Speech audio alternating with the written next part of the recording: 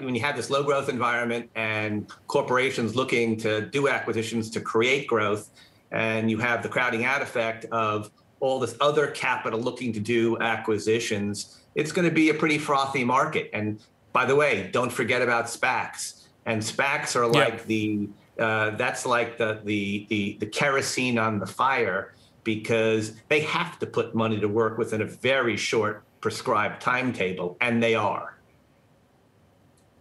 Marc, how how how does a rational investor deal with this? You've told me two things. One of which is the market's frothy and this is going to end at some point.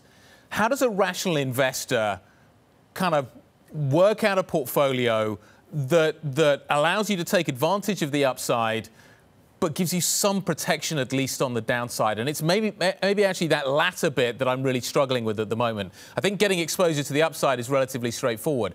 But it's but it's how do I protect myself? How do I provide a hedge in my portfolio that is going to provide me with some downside protection?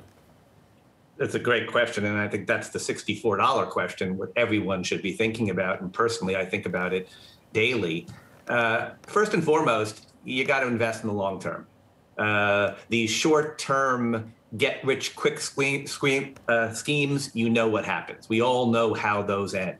So you got to be comfortable that you're buying companies that have uh, that have fundamental long-term uh, opportunities and that you're investing for the long term. There will be corrections along the way, but when you look back in three and five years, you'll have an appropriate rate of return.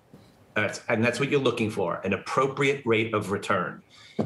Uh, and as you think about asset class, yeah, there should be diversification. I mean, I could just give you personally, you know, while I'm still heavily invested in uh, in U.S. equities, I've also moved from some foreign currency exposure, also some other asset classes. I know there's been a housing boom. And so you want to be careful in getting to those markets, but having hard assets is not a bad place to be as well. But it's diversification and it's long-term investing, in my humble view. Uh, so, Marc, Two words for you SPACs, Bitcoin. Your thoughts?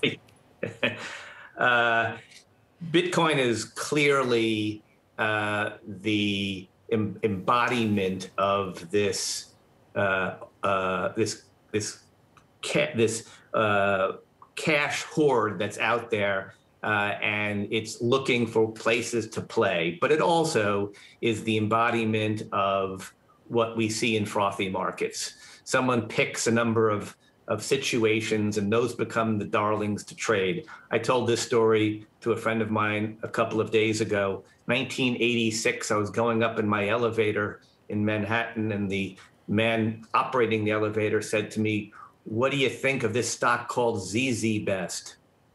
Now we all know that was a fraud and we all know that was 1986. I came upstairs and said to my wife, "This is the end of the market."